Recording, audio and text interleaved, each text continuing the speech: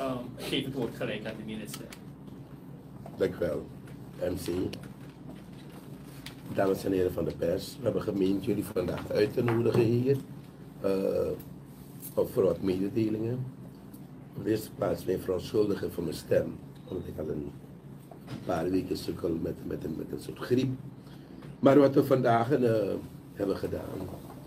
Al een, langer dan een week volgt een discussie op de appgroeps. Dat een uh, boeren die met moeite hebben ingezaaid hun, uh, hun rijst. Dat het water, het waterniveau in de Daniswam steeds meer aan het dalen is. En men wil weten waar het aan ligt dat het niveau aan het dalen is. Toen wij het seizoen ingingen, was een, uh, zeggen schrijven anderhalf pompen werkzaam te Wakai.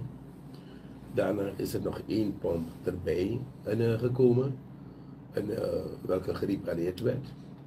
En uh, dus 2,5, praktisch 2,5 pompen gemiddeld waren in werking. En nu is de halve pomp uitgevallen en nog een hele pomp.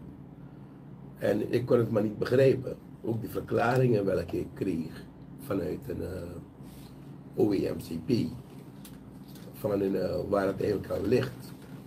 Waardoor ik nodig vond om vandaag mij persoonlijk daar te oriënteren. Uh, ik heb, daarbij was ik vergezeld van het BC, van mijn directeur landbouw, de heer Jitin Kalu en de, de heer Bipat en, van de EBS. Want die moet de expertise ook mee hebben. We zijn geweest, we hebben daar de situatie bekeken. En slechts één pomp was in werking. Onderweg daar naartoe, ze hadden al problemen met het waterniveau in, het kanaal. Omdat de, boot daar een beetje moeilijk doorheen bewoog. Toen wist je al van, er is iets goed fout. Daaraan gekomen toen de situatie hadden gezien. Toen in het begin begonnen heel wat vraagtekens uh, uh, naar boven te komen. Van hoe heeft het kunnen gebeuren dat wij vandaag in zo'n situatie zitten. En ik moet zeggen, daar ter plekke hebben wij een paar besluiten genomen als team zijnde. Ik heb de voorzitter van OEMCP een, uh, gebeld en hem medegedeeld dat wij, dat ik in deze als minister LVV daar een wijziging heb aangebracht in het team van monteurs en de hele organisatie en management rondom Wakai. En ik heb ook uitgelegd waarom. LVV moet voor alle brandstofzorg dragen. LVV moet, voor alle reparatiezorg dragen. Wat er nog verder bij nodig is, LVV moet inkomen. Omdat LVV een verantwoordelijkheid heeft jegens de boeren. Ik wil productie hebben en ik wil niet dat mijn boeren in problemen komen. Waar een van de inputs, en uh, in het geval water. Dus wat we daar hebben gedaan, we hebben meteen het hele managementteam, het technisch uh, naar huis gestuurd.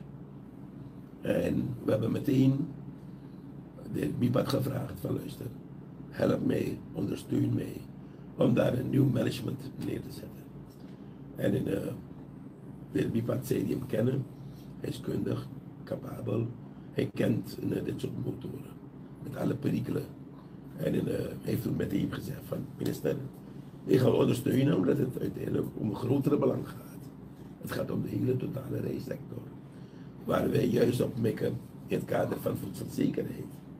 Dus en, uh, ik heb meteen zijn medewerking daarbij gehad. Heeft meteen een inventarisatie gepleegd naar de onderdelen die er nog zijn, wat er nog moet gebeuren. En morgen begint hij met zijn team. Uh, detailzaken, die, die vragen kunt u rechts aan hem stellen. Maar dit is wat er vandaag is gebeurd. Eigenlijk een vraag die u terecht gaat stellen. Van ja, maar minister, het valt niet onder LVV, het valt onder aan de ministerie. Ik heb een collega beroep gesteld. Ik moest onmiddellijk ingrijpen. En ik heb het middels app gedaan met een kopie naar de president. Van dit is wat ik daar heb geconstateerd. Ik ben een aantal keer daar geweest, weet frequent in. Maar uh, over een week ben ik weer daar. En uh, heb ik dit bipat en de overige delegatieleden beloofd Ik wil die vorderingen zien, ik wil die vorderingen meemaken. Ik kan niet hebben dat boeren zo zwaar investeren en elke dag met de frustratie rondlopen van ga ik genoeg water hebben of niet genoeg water hebben. Ga ik een goede oogst hebben? Hoeveel verlies ga ik leiden? Anderen beginnen nu al zich op te geven van kom bij mij opnemen hoeveel schade ik nu aan het het lijden ben. Dus dit als inleiding en, eh, over het bezoek vandaag aan Wakai. En eh, als er vragen zijn, maar u kunt ook vragen stellen aan de overige delegatieleden. Heer minister, ik stel voor dat meneer Bipa kort aangeeft uh, wat de planning is en dat het dan. Perfect. IBS allemaal.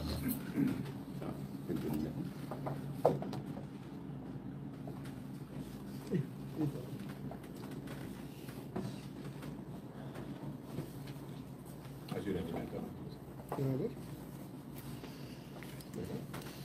Hey, Goedemiddag ook eh, van mijn kant, eh, heer minister. eh, dank u wel voor de inleiding.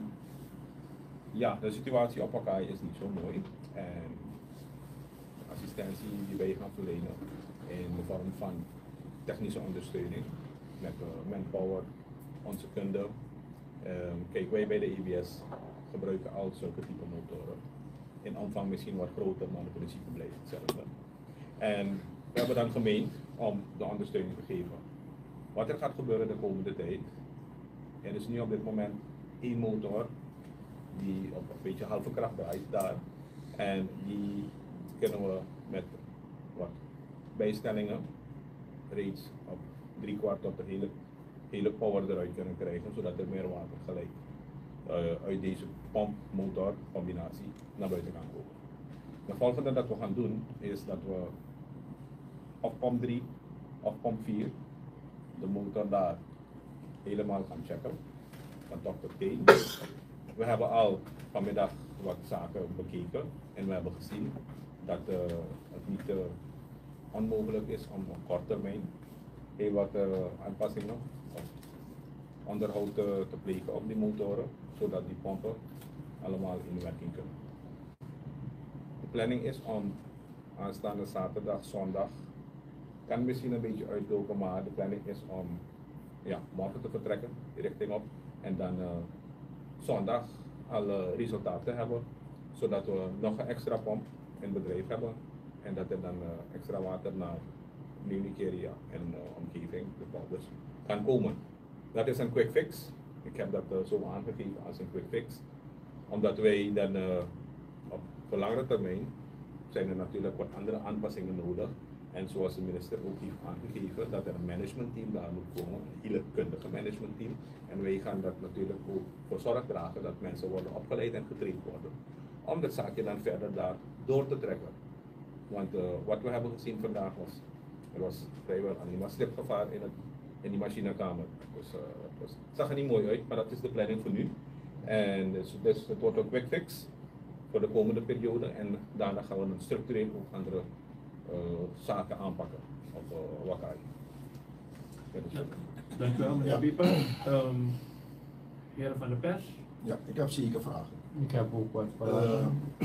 de EBS, of althans de delegatie van de EBS, is op 30 november richting Wakai gegaan. Als we terugrekenen, wat 30 november naar nu, wat heeft ervoor gezorgd dat die juiste beslissing niet meteen is genomen, heer minister? Want eh, de mannen van EBS, zover mijn informatie reikt, corrigeren mij, als dat niet zo is, die hebben expertise in huis en ze hebben zich aangeboden om dit district, althans de boeren en de veehouders, te onthouden die ontbering die ze nu meemaken. En wie gaat hiervoor opdraaien? Want missers in Suriname blijken gewoon af te, eh, te worden afgedaan als oké, is nice. Het is mij bekend dat Was bij jou, sorry. Inderdaad, heer president, eh, het is mij bekend dat de delegatie van EBS ergens eind november naar Wakai is geweest. Ze hebben een rapportage gedaan over een aantal misstanden welke tot de president, dat heeft de president bereikt. Toen kreeg ik plotseling te horen van één van de pompen kan snel gefixt worden. Binnen drie dagen, vier dagen, een week maximaal. Toen dachten we, oké, okay, uh, laten we het even bekijken. Hoe snel dat kan gebeuren, want het was droog, we hadden water nodig. Insaai was al begonnen. En toen is er aangegeven dat er versneld onderdelen geïmporteerd zouden kunnen worden. En ze hebben inderdaad binnen twee weken, max, die pomp aan de praten gekregen. Mijn vraag is, waarom niet eerder? Waarom kon het niet eerder plaatsvinden? En waar komen die onderdelen vandaan? Dus nu, ik ben al begonnen met onderzoek. Ik heb al aangifte gedaan. En we gaan, ik heb vandaag in een app aan mijn collega van Ros, die is aangegeven. Uh, we gaan een paar mensen opsluiten. Voor diefstal en andere voor heling. Het kan nooit dat er binnen drie, vier dagen onderdelen zijn ingevlogen. Vooral van een merk en een type, welke outdated is. Pompen zijn ouder dan 40 jaar. Ik, bedoel, ik kom ook in een sector waar je ook met zulke grote motoren te dealen had. Dit wordt een special order. En een special order is minimaal maand. Als je, als je het in, in, in, in, invliegt. Dus hoe dat gebeurd is, weet ik niet. Ik vraag nu naar de documenten van waar die onderdelen zijn ingekocht. Ik kreeg wel een invoice van de firma hier uit Inkeri. Ik zeg maar, ik wil zien de inklaringsstukken. Het is al een paar weken dat ik niet erover kan zien. Ik zou u zeggen, er is heel wat gebeurd daar. Nu, maar wat mij heeft doen vermoeden, en dan ga ik een beetje in detail. We praten nu Pritpangi, toch? Ik bedoel, je, zei, je, je stelde eerder de vraag van, iemand moet ervoor opdraaien. Ja toch? Ja. En het zijn meestal de boeren die het geld betalen. De Nee, ik bedoel, die fout, die fout, dat geknoei. Oké. Dus nu, die inklaringsstukken, daarover kan ik niet beschikken. Maar hoe kan het zijn dat mensen, monteurs, die in dienst zijn van OEMCP, met zo'n pet op, zo'n motor niet kunnen repareren, maar met een private pet het wel kunnen repareren? Dat is een vraag dat op antwoord moet worden. En uh, het zal misschien uh, wat, wat aantal weken kosten om op het antwoord te komen. Maar u voelt al aan van welke kant het op gaat. Je ziet het ook aan de prijsopgave. De overheid niet betaald, een particulier had voorgesloten. Eerste prijs was de prijs 9 ton. Dan is het verdubbeld naar 1,8 ton. En toen is het uiteindelijk voor 1,3 miljoen. Nee, ja, 1,3 miljoen en, uitgevoerd. Dus ja, 9 ton, 1,8 miljoen en daarna voor 1,3 miljoen. Dus vraagtekens, vraagtekens, vraagtekens. Die pomp begon te draaien, het ligt nu weer stil. En dan komt er weer zo'n aanbod. We kunnen de volgende pomp in bedrijf stellen, maar nu voor 6 miljoen. Dus we zijn toch niet zo op ons achterhoofd gevallen. Dus het zijn zaken welke je aan het denken zetten. En dit heeft gemaakt. Ik heb niet gewacht op antwoord van mijn collega van Ros. Toen ik daar was, ik ben ook onderdeel van de regering. Het gaat om mijn sector. Ik heb besluit genomen. En mijn collega geïnformeerd. Maar ook dat wij mensen gaan opsluiten. Dit mag de gemeenschap weten. Dit, maakt, dit gedrag maakt dat vandaag wij zoveel te lijden hebben van watertekort. Hele sector. Waar wij nu hebben gezien dat na lange tijd weer nu 35.000 hectare aan land was klaargemaakt. Die drooggrondbewerking om in te zaaien. Dan kun je niet hebben dat door zulke grappen er de boeren slachtoffer worden. Gelukkig hebben wij, zitten wij dicht bij de 30.000 hectare. Maar we hadden meer kunnen inzaaien. Als zaken niet, niet zo waren er geweest. Dus de vraag kan ook gesteld worden, maar worden niet eerder, nu vanwege die droogte, die, zijn die, dit soort zaken boven water gekomen.